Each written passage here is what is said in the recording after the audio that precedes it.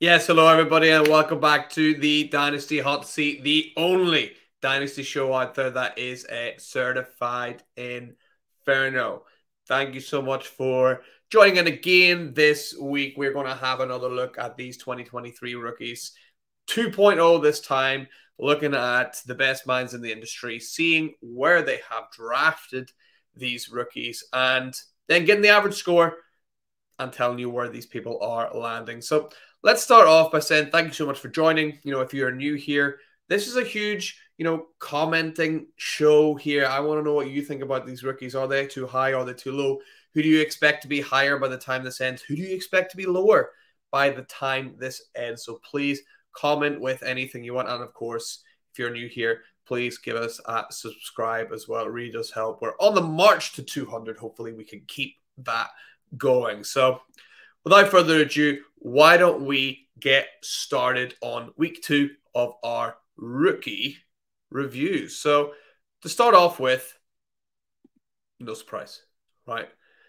Bijan Robinson, even though these are all super flex drafts, Bijan Robinson holds that number one position.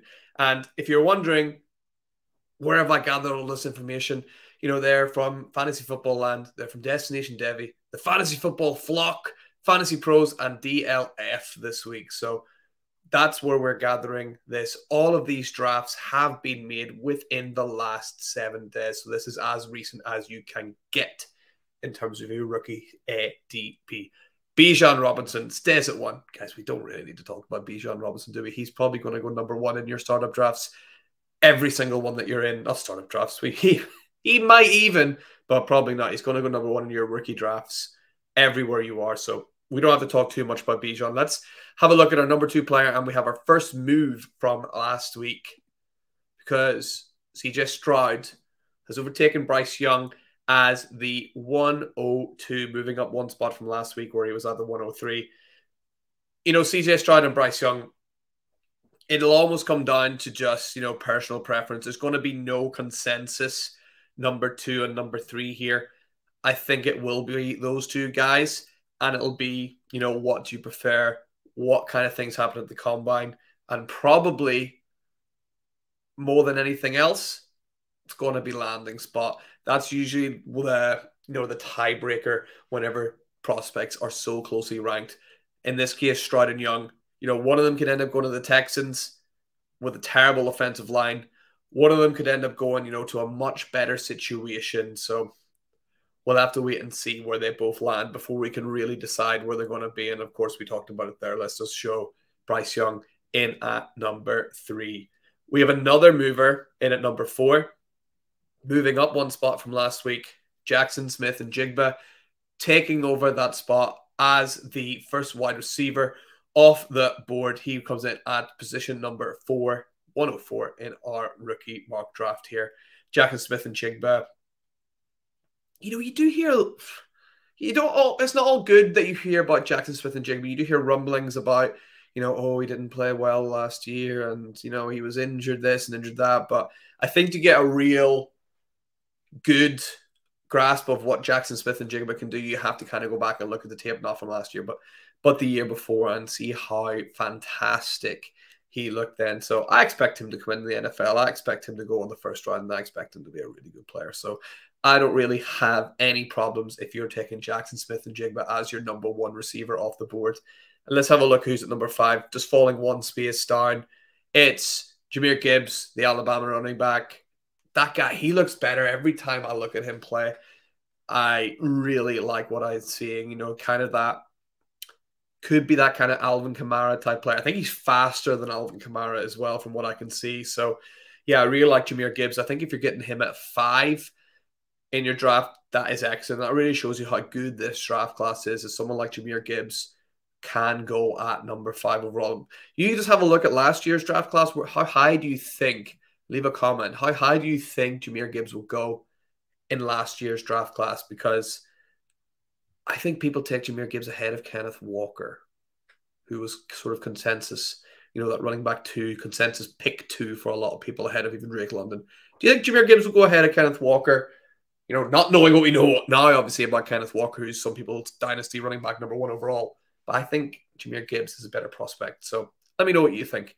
And uh, then moving on to number six, someone else who's moving up one spot, you know, Quentin Johnston, absolute monster of a wide receiver.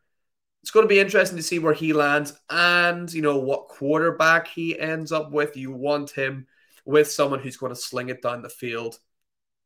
Cleveland Browns would be interesting. Pair him up, you know, with Amari Cooper, with Deshaun Watson, who we know loves to throw the ball downfield. Chargers could be an interesting spot for him as well. Mike Williams cannot stay healthy. And if he does, I mean, good luck playing against, you know, those two guys, right? Flying downfield.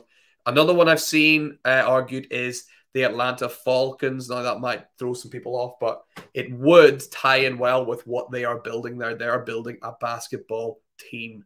They have got Kyle Pitts, they have got Drake London. They even went out and did like little things like they brought in Bryan Edwards, who's that kind of style player. Bryan Edwards not on a team right now, but you could see that's the road they're going down. So that's somewhere he might end up. And who knows who's going to be throwing on the ball, but that could be a bit dangerous if it's, you know, the same kind of people there. And someone who might be throwing on the ball, interestingly enough, is one of our highest risers, all the way up now to number seven, moving up five spots. Anthony Richardson. This will continue, I think. I don't see him dropping out of the first round anymore.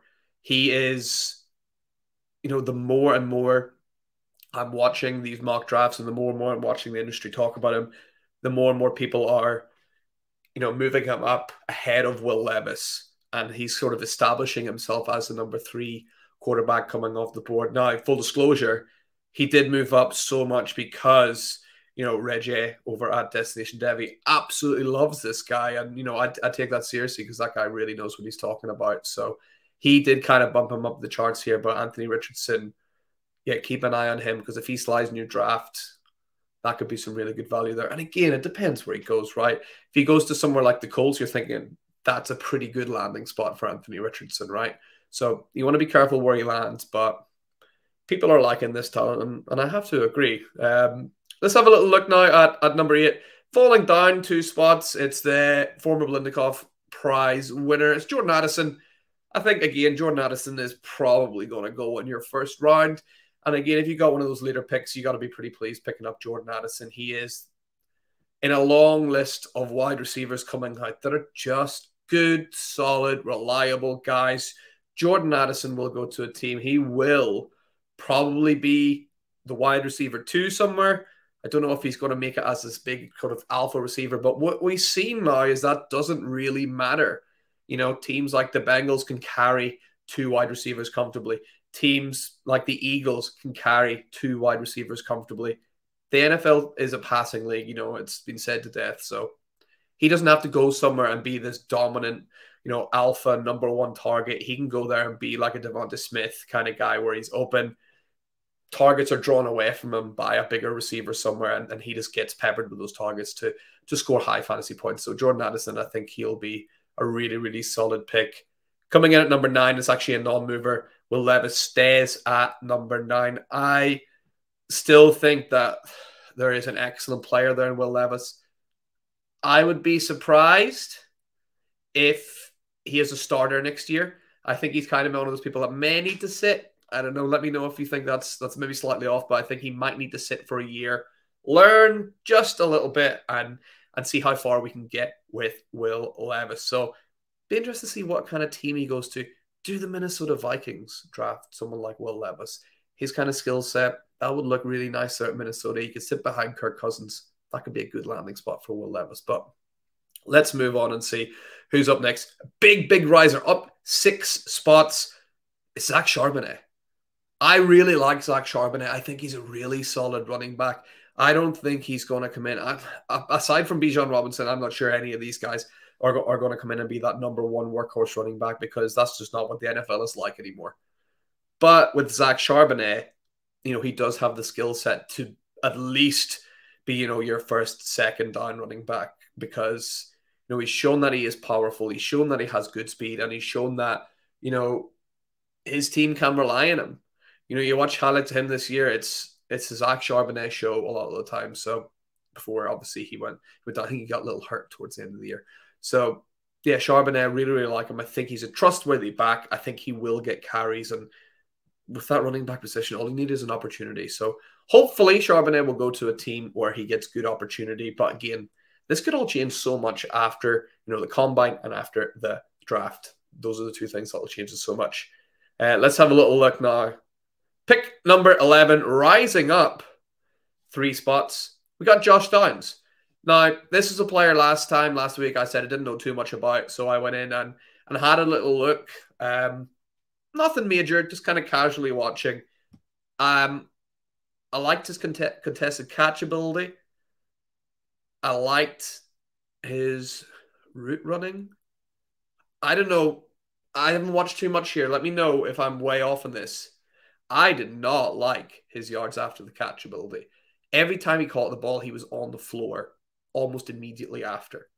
That's something that really stood out to me. Again, I watched maybe four, five games of all his snaps. Yeah, I wasn't too impressed with his yards after the catch, and that is so, so important at the wide receiver position, you know, to rack up those fantasy points. Let me know if there is a game I should be watching. If you are familiar with Josh Downs, send me a link or, or leave a comment saying, go watch this game because that will show you his ability after the catch. So so that'll be really useful for me to see. But at the minute he's he's going in the first round, so I gotta be missing something, right? Industry wide, people are taking him in that back end of the first round, high second round pick. So there must be something there I'm missing. So let me know what that is.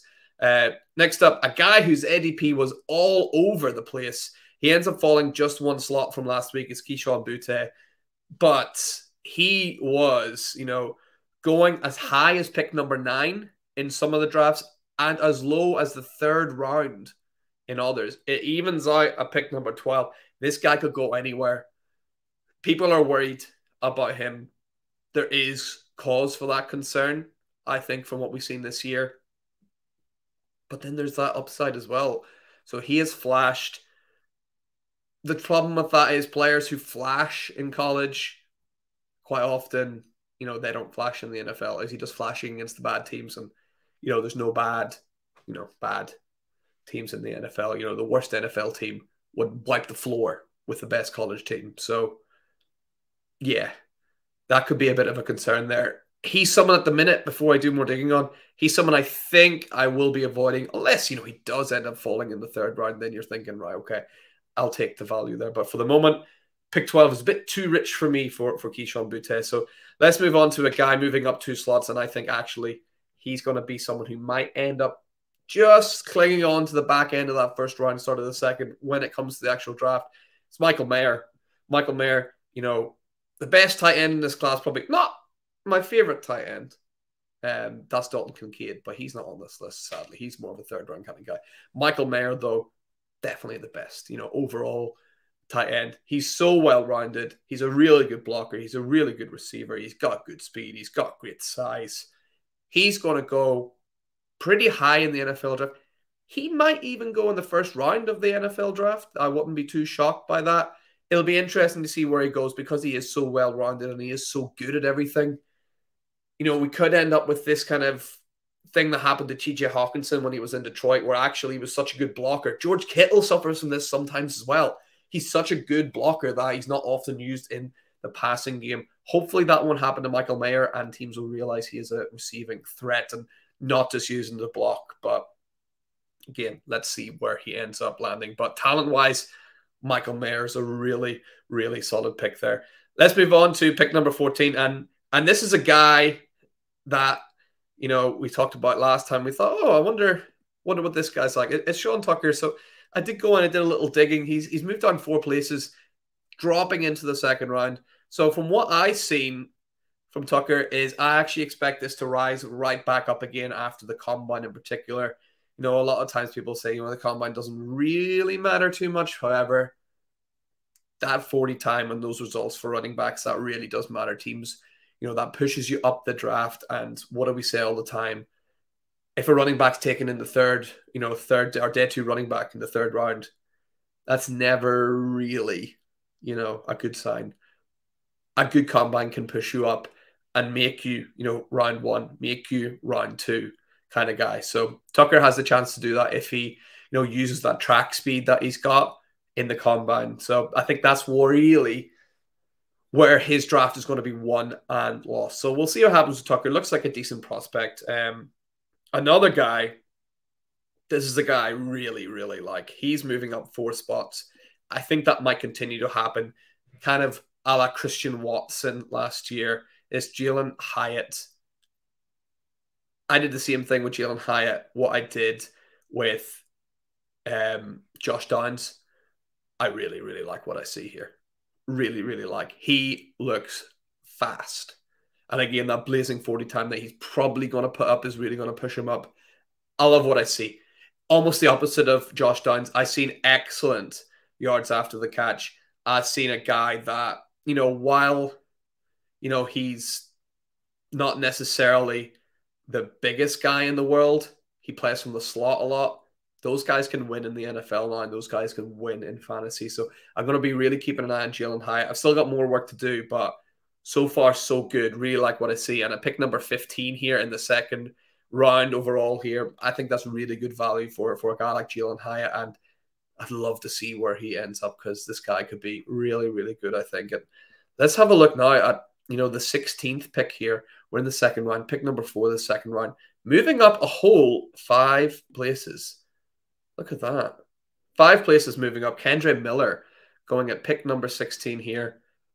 You know, people obviously like what they see here. Kendre Miller, you know, kind of going a bit of a mixed bag here. Some will take him the highest pick 11 some as low as pick number 23. Kendre Miller, a guy. I still need to do a bit more tape studying Kendre Miller. What do you think of it? Leave a little comment below. Kendre Miller, what should I be looking out for? What do you think his main strengths are?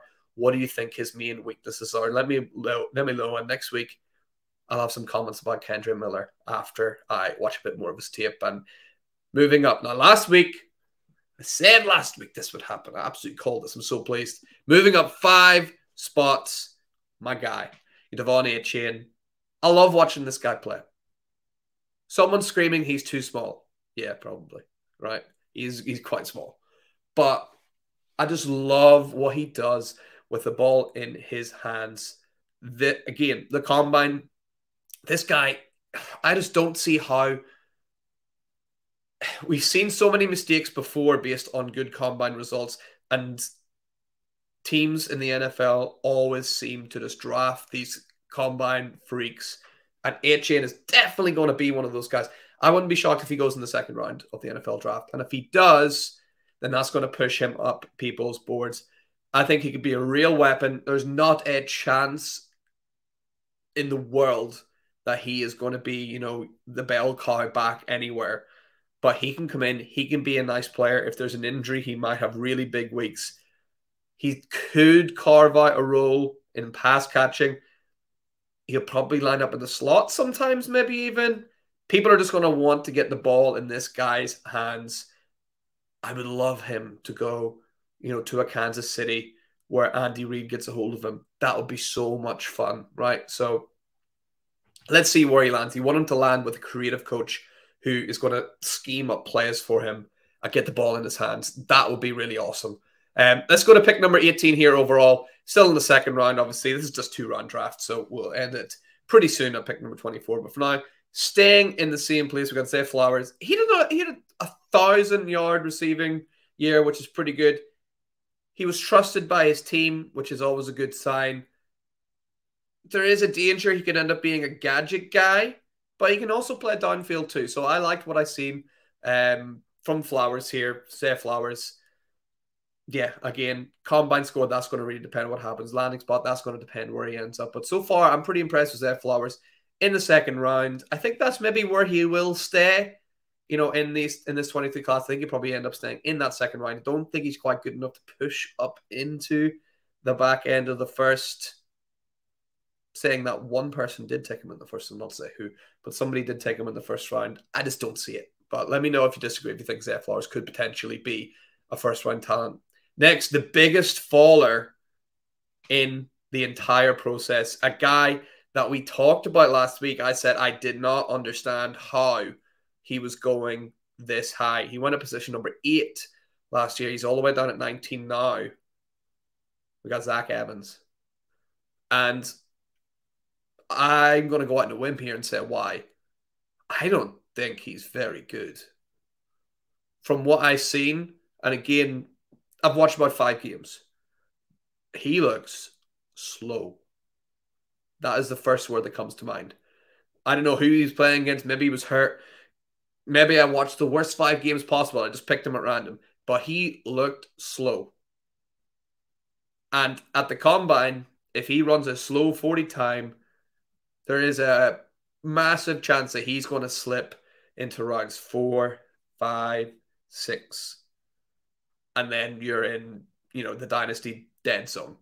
No one's going to pick you up there. This could be the start of a monumental slide for Zach Evans. Hopefully, people haven't done their early drafts where they've already drafted a startup and taken the rookies and taken him quite high. I just don't see it. Um, again, if you got any advice, if you got somewhere where you think, no, go watch this game and you'll see, you know, he's not slow, or go watch this game and you'll see, you know, that he doesn't have terrible hands, go watch this game. Let me know in the comments. But so far, I've seen nothing. So I would love to be proven wrong. I always like seeing the positive side of players, but I haven't seen much so far from, from Zach Evans. So let's move on to another guy who's really fallen down the ranks again, seven places down. Tank Bigsby. You know, this is going to sound maybe stupid, but I don't know.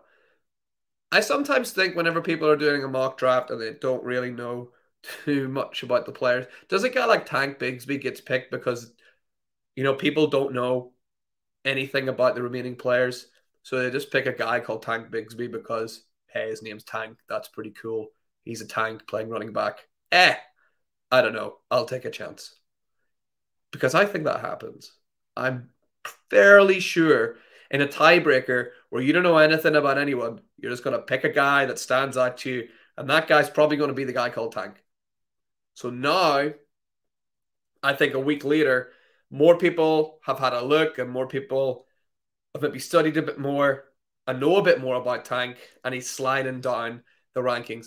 I actually, from what I've seen, I quite like the look of Tank Bigsby. I think he's quite well rounded. I don't think there's any obvious holes in his game. I mean, for a guy called Tank, he's not a tank, you know, he's not like a Derrick Henry type guy.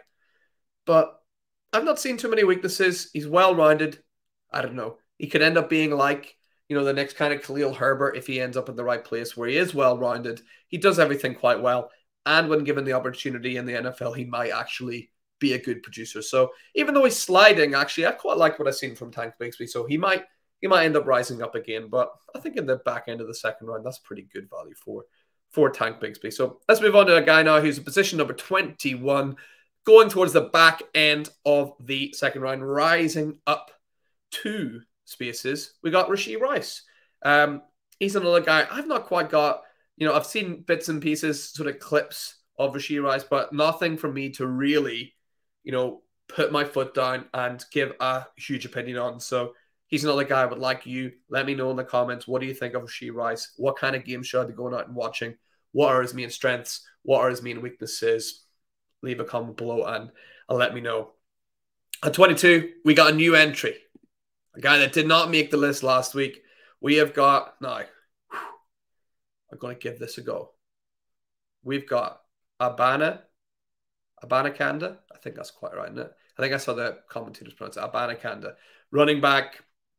Guys, I've seen again clips of him. I'm currently kind of studying through as many college games as I can. I've not done a deep dive player study individual of him. I've seen some highlights of him playing in games. He looks pretty fast. He looks pretty explosive. He looked pretty good to me. I have a couple of notes on him in my overall grades that aren't quite finished.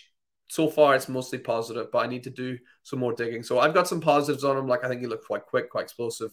Any negatives on him? Any reason why you think all of a sudden he's exploded and has appeared at the back end of the second round? Or do you think, no, he should have stayed off the list? Let me know. Um, next, we got in at number 23, a guy we talked a bit about last time. Uh, we got Marvin Mims. We talked about, you know, he had a thousand yard season. He looks to be a pretty solid receiver. He's another guy, like a few others. It's going to depend where he goes. If he goes to a crowded room, he might not see the field too often if he goes somewhere like the Houston Texans, where there is actually space for him to be a good receiver, that could be interesting. for a Marvin Mims. So I think for him, it's going to end up being, you know, landing spot dependent, which is kind of true for a lot of guys at the back end of the second round, really.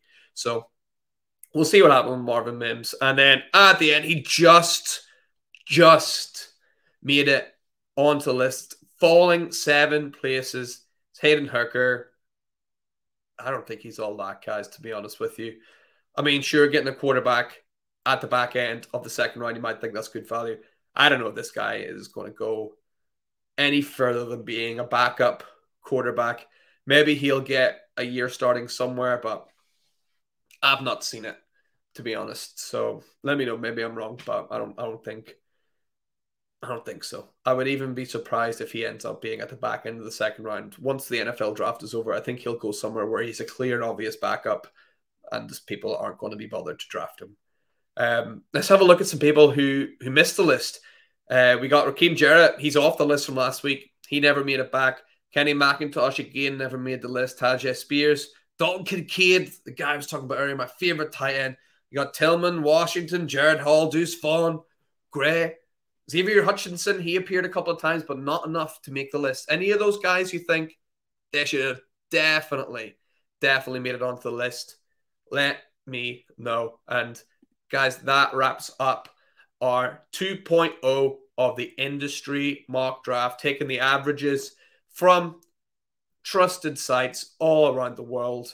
And yeah, putting them in order. Thank you so much for sticking around. Thank you so much for watching.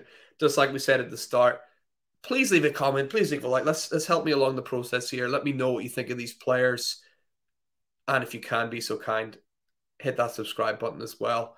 Let's get us on the way to our 200 target. That would be fantastic. Thank you so much for watching.